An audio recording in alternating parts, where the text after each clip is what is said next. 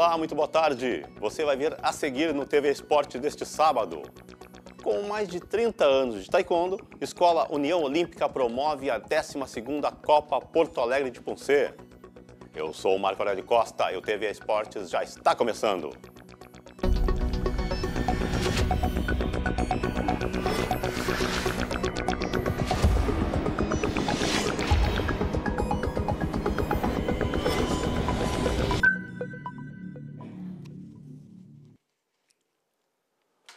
União Olímpica de Taekwondo promove agora, em agosto, a 12ª edição da Copa Porto Alegre de Poncê, uma das mais tradicionais competições da modalidade aqui no estado. E quem tem mais detalhes são os mestres Alfredo Pradelino e Rafael Mayubi, que estão aqui com a gente. Boa tarde, mestres.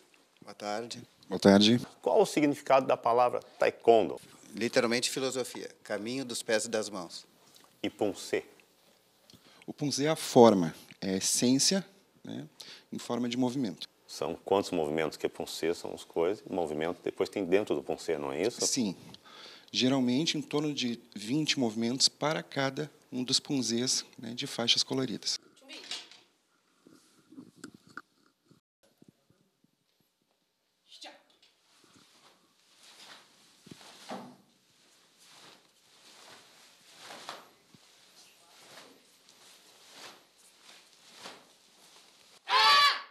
A tradicional Copa Porto Alegre de Poncê foi a primeira competição brasileira baseada nos protocolos da World Taekwondo. Qual é a história dessa Copa e o que essa edição deve apresentar de novidade? A Copa ela iniciou em 2015, né, de forma presencial. Então, em alguns anos tivemos duas edições da Copa até chegar nessa última edição. Durante a pandemia, nós tivemos uma mudança né, para não parar no caso com a Copa, nós fizemos eh, a primeira vez a modalidade online. E isso foi bem interessante, por quê? Porque atletas que não teriam como se locomover até a cidade de Porto Alegre, né, eles puderam ter a oportunidade de participar. Então, nesse momento ali, 2020, 2021, nós tivemos muitos atletas também de fora né, do país participando.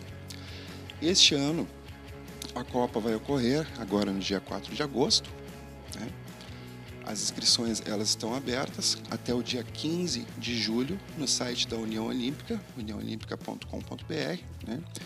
E estamos aguardando todos os tecondistas, independente de federação, independente de qualquer dificuldade que, que possam ter em relação a isso, né? Nós aguardamos todos. Esta Copa é só região sul ou é extensiva ao Brasil e fora do Brasil? Todo o Brasil. Sim, todo o Brasil. É todo o Brasil. Inclusive, na, nas edições passadas, tivemos muitos atletas do Rio de Janeiro, né, de São Paulo e do Nordeste. E os países aqui vizinhos não? Todos são convidados, né? mas existe toda essa questão né, de transporte, de logística, que às vezes impede de outros países. Mas tivemos, uh, em algumas das Copas, uh, colegas uh, tecondistas da, da Argentina, do Uruguai, países mais vizinhos, eles geralmente vêm.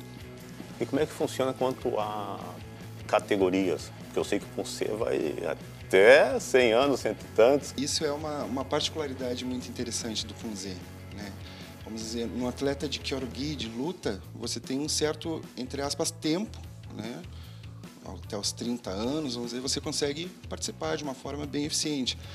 No Punzé, isso é um pouco diferente. Né? Por quê? Porque o atleta pode ter 50 anos, pode ter 70 anos, pode ter, ele, se ele tiver motivação né, para participar, né, ele pode participar de 6, de 5, 4 anos até 80 anos, 90 anos. Complementando, isso é dividido em masculino e feminino, depois graduação e por idade. É, juvenil, cadete, sub-30, sub-40, sub-50, sub-60 e acima de 60. E como é que estão as inscrições? As inscrições estão abertas né, até o dia 15 de julho, através do, do site da União Olímpica. Né. Já tem muitos inscritos já? Já, já temos, porque existia uma particularidade. Né? Nós tivemos que protelar um pouco a Copa em função das dificuldades causadas pelas enchentes. Então, nós já tínhamos atingido um número bem, bem interessante de, de, de atletas, né? e agora nós demos essa nova oportunidade para aqueles que não, não, não poderiam, enfim, participar, mas as inscrições até o dia 15 continuam abertas no site da União Olímpica. A Copa Porto Alegre é válida pela seletiva da região sul para a Superliga Nacional de Taekwondo, a ser realizada em outubro em São Paulo. Como está a participação gaúcha na temporada? Os gaúchos estão se preparando já desde antes das tragédias, né? A expectativa do mestre Leandro é que tenhamos boas colocações e consigamos classificar vários atletas para o evento nacional. O trabalho está sendo feito é, já faz algum tempo e a esperança é essa. A tragédia afetou de algum jeito o desenvolvimento do taekwondo no Rio Grande do Sul? Porque muitas escolas foram afetadas, muitas casas de atleta, né? Porque os atletas também têm vida fora do taekwondo. Sim, sim. Um dos motivos de ter sido adiada a Copa foram as chuvas, né? É, o mestre sensível à situação, é, no caso da, da, escola, ele diminuiu o número de aulas, fez algumas aulas é, através da internet, para não quebrar o ritmo de treino, e no estado como um todo foi, é, foi atingido. É, as academias, enfim, nas, nas cidades do interior. Nós tivemos muitos parceiros de outras academias, né, colegas nossos de taekwondo que perderam tudo com as enchentes. Né? O pessoal dos vales, do Vale do Caí, enfim, né? foram bem afetados. Conta um pouco da história da União Olímpica de Taekwondo, uma das maiores escolas brasileiras da modalidade, e completa 30, 30 31 anos né, de atividades este ano, 2024. Completou 31 né? anos. Ela, a União Olímpica inicia né, a sua trajetória em 1993 com o mestre Leandro Pimentel e o professor Antônio Kepes. Né, eram duas equipes de taekwondo que se juntaram né, e criaram a Escola União Olímpica de Taekwondo a partir de lá. Hoje em dia, a União Olímpica ela tem em torno de 100 faixas pretas já formados né, torno, e mais ou menos 10 mestres né, na, na, nossa escola. E nós somos uma escola que preza pela formação. Além da nossa base, que é a Academia Escola União Olímpica, né, hoje nós te, estamos em mais ou menos de 12 a 14 escolas de Porto Alegre, trabalhando desde né, da educação infantil até os últimos anos, formando né, atletas, formando novos alunos com o selo da União Olímpica. A escola de vocês é conhecida não só por, pelo taekwondo, né, mas o mestre Leandro teve agora na Coreia, né? Sim. Ficou um mês lá estudando. Ele ia vir aqui, ele não pôde. Conte para nós como é que foi a saída dele, que ele é o sétimo dan, não é pouca coisa, né? É, o mestre ele é um empreendedor da área do taekwondo. Ele busca o conhecimento, a instrução. Então, normalmente, uma vez por ano, né, sempre que possível, ele viaja à Coreia e lá ele faz uma, uma caminhada na, nas principais academias e na, no Kukwon também. Ele vai e vê qual o sistema de treino que está em voga na Coreia, o que, que eles estão fazendo diferente para o alto rendimento no Punse e os cursos de atualização. Traz aqui para o Rio Grande do Sul né, fomenta esse conhecimento, divide o conhecimento que é muito importante, né, forma através dos seus faixas pretas as escolas, ele faz multiplicadores para que o conhecimento se, se dissemine no estado e o Rio Grande do Sul possa continuar crescendo nessa área. Esse esporte está famoso por causa das Olimpíadas do Taekwondo, né? Foi divulgado muito, nós estávamos conversando ali que tem um ponto bom e um ponto ruim. Conta para nós como é que esses dois pontos falar especificamente do taekwondo. A, partir do momento que a, a arte marcial ela passa a integrar as modalidades olímpicas, ela sofre uma série de, de modificações para que seja mais, um produto mais uh, assistido e vendável. Então, muitas técnicas são mais traumáticas foram retiradas da modalidade olímpica, né? O regramento ele vai mais para que o telespectador ele goste de assistir e aumente a, o número, a audiência nos Jogos Olímpicos e a, e a, e o esporte, e a arte marcial, hoje chamada de esporte, seja mais difundida no mundo. Né? Então, isso, isso causa, às vezes, nas academias, uma certa discrepância né, entre o esporte olímpico e o dia a dia na academia da arte marcial tradicional, uhum. que não é tão como é que como é que eu posso tão glorioso assim como Sim as Olimpíadas. Né? Eu, até nós estávamos conversando que o alto rendimento, no caso do taekwondo no Brasil, ele tem um incentivo, tem as bolsas atletas. Mas a base de formação, que são as academias dos bairros, do interior do estado, ela não, ela não consegue receptar esse tipo de, de incentivo. E muitas vezes os mestres é, são obrigados a sair, a viajar para adquirir conhecimento, e o aluno, para que possa passar para os alunos, e o aluno não consegue fazer a transição da academia, no caso, para o alto rendimento ou para a modalidade olímpica. Mas, em contraponto, com a visibilidade numa Olimpíada, Exatamente. as academias dão aparecem mais, aparecem mais sim, sim. alunos. É a única diferença entre o que aparece na Olimpíada, que seria o glamour, e o que acontece na academia, que é a formação, a disciplina, a, a repetição, o, a forma que tem que o aluno tem que entrar, a forma a, da técnica em si, né, para as Olimpíadas. A questão mais integral né, do, do taekwondo. Né? A, a, integralidade ela acontece né, justamente na academia, onde se trabalha uh, diversos, vamos dizer, diversos ramos né, do taekwondo, que pode ser, logicamente, o punzé, uhum. né, o kyorugi, que é olímpico, né, a luta, né, mas a base ali, o tradicional, ele está sempre na academia. Qual é o aluno mais novo de vocês? Em torno de três anos. Três aninhos. Já três tá anos. A gente tem as turmas Baby, na academia, né, que é uma, uma professora que, que trabalha, a professora Fernanda, ela trabalha com os, com os nossos babies da UO. Então, a partir de três anos, ele já... E qual é o aluno mais antigo? Da... De mais idade? Em termos de idade? De mais idade? Se não for eu... Tem 63, deve ser... Difícil ter um veterano mais assim... 63? Mais inteiro assim, né? Mas isso mostra que o esporte faz bem. O mestre Vinícius, um, amigo nosso do taekwondo, eu era faixa colorida ainda. E um dia o mestre Vinícius falou uma coisa, chegou para mim, sabe qual é o maior benefício da arte marcial? Como todo faixa colorida, não sei, lutar, ganhar, disse não. É uma terceira idade com mais saúde. Uma vida mais longeva com mais saúde. Esse é um verdadeiro benefício. A prática durante a juventude para chegar a uma terceira idade com mais saúde. Te dá mais qualidade de vida. Exatamente. E como é que foi a origem do taekwondo aqui no nosso estado? Vocês sabem? Bom, é, houve uma, uma saída da Coreia para o mundo dos mestres, né? Então nós tivemos duas saídas, uma saída, uma saída extraoficial, são mestres coreanos que vieram para, para as Américas, saíram da Coreia para difundir o taekwondo, e depois a saída oficial quando veio uma equipe da Coreia para as Américas para fazer demonstrações e ensinar o taekwondo. Aqui no Rio Grande do Sul, o primeiro mestre que tem conhecimento foi o mestre Um que chegou aqui. É, depois veio o mestre Kim faleceu depois. Chegou o mestre Teboli, grão-mestre Teboli, que é nono dan, que organizou o taekwondo no estado. É um dos mestres mais importantes no Brasil. E dali para cá, o Rio Grande do Sul foi crescendo no taekwondo e a arte marcial foi se difundindo no Brasil. Está aqui desde 70 e 2003, se não me falha a memória, foi quando o mestre chegou aqui. E como é que está o, o, taekwondo agora para a Olimpíada de Paris 2024? Temos chances de medalha? Ah, falando do Kerugi, né, o Punsei infelizmente ainda não participa dos Jogos Olímpicos. Ainda não. Ainda não, mas com certeza ele vai entrar porque está crescendo muito no mundo.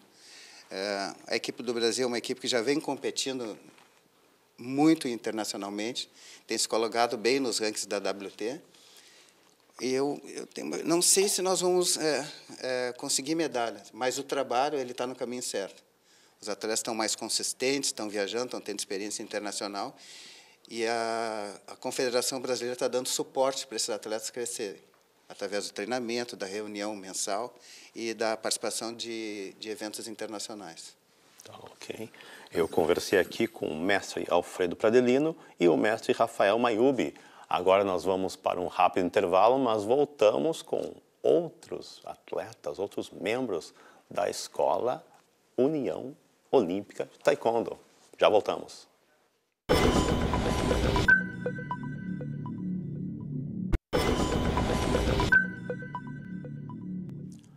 Estamos de volta com o TV Esportes e a gente segue falando taekwondo. Aqui conosco, três multicampeões da modalidade, todos ex-atletas da seleção brasileira, Simone Bianchese, que é campeã brasileira e do Mundialito. A Mariana Tolguinha, ouro também no Mundialito, na Copa Pan-Americana e bicampeã brasileira. E o Márcio Monteiro, que também tem dois títulos brasileiros e foi vice no Mundialito. E a Simone é mestra, né, Simone? Boa tarde, tudo Boa bom? Boa tarde. Vocês participaram agora todos, foi agora esses campeonatos todos que vocês participaram? Esses foram os últimos que a gente participou, né? Agora em junho? Não, foi o ano passado, né? O ano passado. Outubro do ano passado foi o, Mundi o Mundialito, a Copa América. E depois? Isso daí, foi os dois últimos do ano passado, né? E daí agora a gente vai recomeçar com a Copa Porto Alegre, depois em outubro tem outras competições. Vão começar agora, elas são sempre mais para o final do ano. E em função das enchentes também deu um, uma parada em tudo. Como é que está a estrutura da seleção brasileira? A gente vem treinando bastante na União Olímpica de segunda a sábado. Treinamos sempre uh, que possível, né, no período da manhã, enquanto uh, temos atletas também. A Mari uh, segue no colégio, então ela estuda pelo período da manhã e treina no período da tarde e no período da noite. Sempre no período da noite a gente se reúne para treinar com o mestre.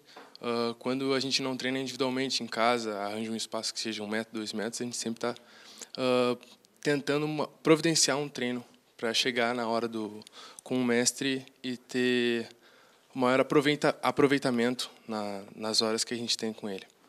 Mari, por que tu escolheste o Punce? Porque foi a modalidade dentro do taekwondo que eu mais me identifiquei.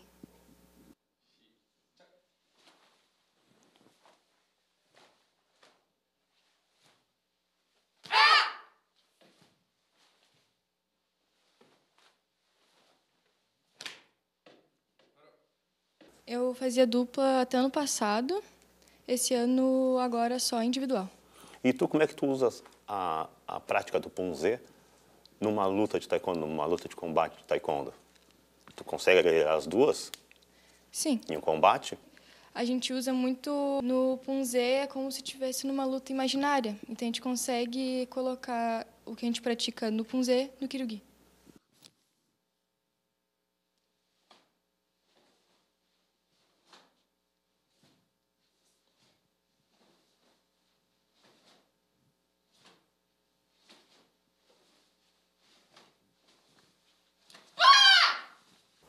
Alguns de vocês pretendem ingressar na arbitragem, como o mestre Leandro, que não pôde estar aqui porque chegou há pouco de viagem. Na verdade, nós já fizemos curso de arbitragem, Sim. né? Eu fiz um curso uh, uns anos atrás pela uh, confederação mesmo. Me formei árbitra, Márcio também, né? Também. Isso. E, mas nós somos mais atletas do que na arbitragem mesmo, né? Mas nós temos conhecimento, sim, de como atletas a gente tem que uh, tanto ter o conhecimento do árbitro como do atleta, para saber uh, justamente o que a gente está errando e o que, que é mais grave, o que, que a gente pode tirar na hora da competição, na hora do aquecimento. Normalmente, e é muito comum, porque ninguém faz perfeito, uh, acontece erros pontuais no punce, uma base, um chute, uma técnica de mão, um olhar. Então, assim, quando tu vai fazer um movimento de técnica de mão, tu precisa olhar e saber o que tu está errando. A gente precisa ter o conhecimento do árbitro justamente para nos avaliar. A gente gosta de filmar a gente treinando, uh, principalmente durante o treino.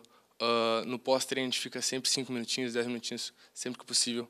A gente grava para ver o que a gente está errando, porque nem sempre a gente consegue ter o contato com o mestre ali e a gente precisa saber o que, que uh, é visto, o que, que tem erro de mais grave e quais são os erros mais leves. E aí tu fica sabendo o que, que o juiz analisa no teu combate. Isso, e aí a gente Isso consegue, facilita. Isso, e a gente consegue uh, eliminar na hora o que, que a gente poderia perder de mais pontos. Então, em vez de fazer um ponto muito grave, a gente reduz para um ponto mais leve ou tenta eliminar aqueles pontos que a gente poderia fazer.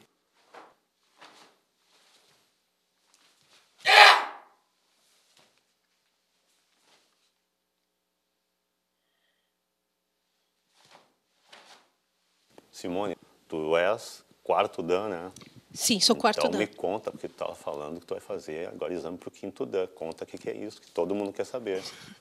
É que assim, ó, às vezes as pessoas pensam que faixa preta é o final, né? O colorida, principalmente, tem muito disso. Treina, peguei faixa preta, deu, terminou, não tem mais nada para fazer. Mas a faixa preta é como se tu tivesse entrado para a universidade, ou ensino superior. Né? Então, o taekwondo ele tem 10 graduações de dan, que são as graduações de faixa preta. Né? E até quando tu chega a quarto dan, tu é mestre de taekwondo, aí né, ganha o título de mestre. E agora eu pretendo fazer para quinto. né, fazendo Quando é esse exame? em outubro, né? Outubro. Quem vai administrar, tu já sabe? É o mestre Leandro, o mestre Alexandre, o mestre Índio, Sim, os, os né? três. A banca vão ser eles três.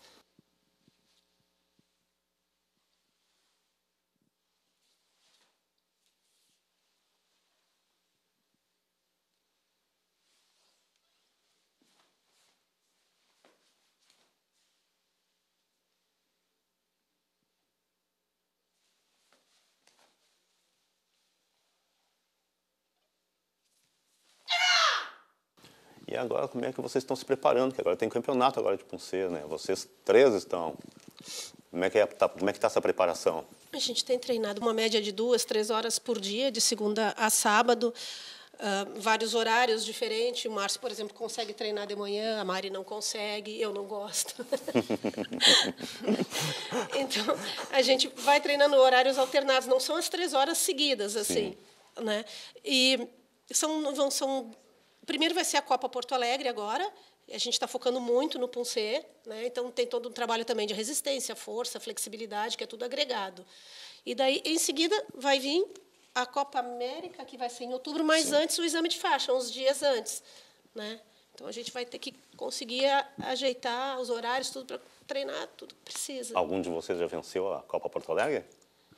Sim, eu ano passado tive o, o a, troféu Atleta Destaque junto com a Isabelle, a filha do mestre Leandro. Nós fizemos um par ah, e conseguimos treinar bastante e consegui a medalha de Atleta Destaque junto com junto com o troféu. Foi foi bem Agora, legal. uma curiosidade minha, com quantos anos cada um começou no taekwondo? Mari, Eu comecei com seis anos. tu, Márcia. Eu comecei com nove anos. Eu comecei com 13. É, mas não, é? Não, mas eu estou aqui brincou treino mais tempo, eu tenho 58 agora para 50? 13, Não né? parece. Realmente o esporte funciona muito bem, como falou o mestre ali. Muito bem. Ah, teu marido. Tudo em família. Tudo em família. Quantos são os puncês? São oito pulseiras de faixa colorida e oito, nove. São 17 puncês no total, ah, sendo oito de colorida.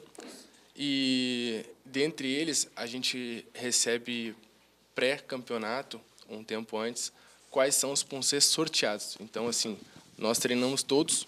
Ah, não é escolhido. pelo- Não, ah, o atleta não escolhidos. escolhe, é sorteio. Exatamente. Fica muito mais difícil. Fica muito mais difícil. E, assim, pega de, de surpresa, né? Então, dentro de cada categoria, ah, juvenil, sub-30, sub-40, ah, nós temos os puncês, vamos supor, ah, treinamos do 1 ao 3, mas de cada categoria vai cair só o 1 e o 2 nessa categoria. Na, na outra categoria pega os três. Tem a, a categoria mais nova pega os dois primeiros. Então assim nós temos uma divisão já na, na categoria.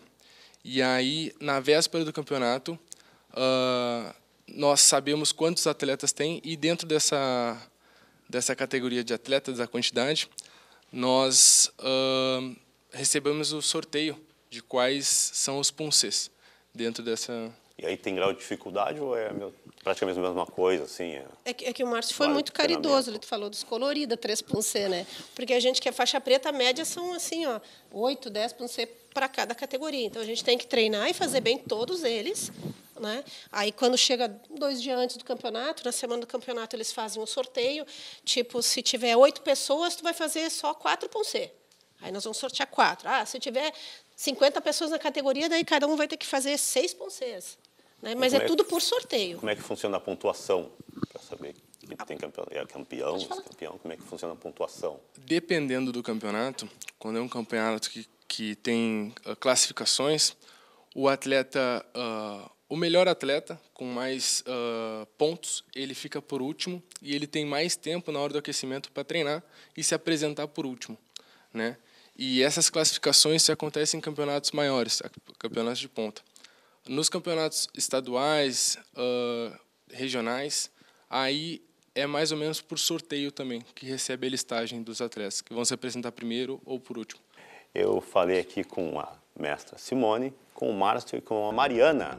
E o programa de hoje vai ficando por aqui. A gente volta no próximo sábado ao meio-dia. Um ótimo final de semana a todos e até lá!